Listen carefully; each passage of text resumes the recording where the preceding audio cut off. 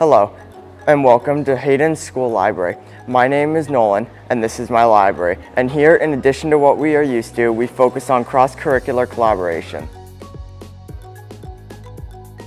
Our grade 9 English class partnered with the science class to create a cross-curricular garden outside the library. We researched native plants in the library and wrote EPEC paragraphs justifying our choices. The science class came to the library to measure the space, draw diagrams, and test the soil. The construction class made signs for the plants, and our English class went to Terra to choose the plants. Our science class weeded the garden and added fresh soil. Our English class planted the pollinators in the afternoon with help from the volunteers from the Eco Club, and the City of Burlington and the Burlington Public Library will help water it over the summer. And you too can get this for a low cost of $500 or check with library services.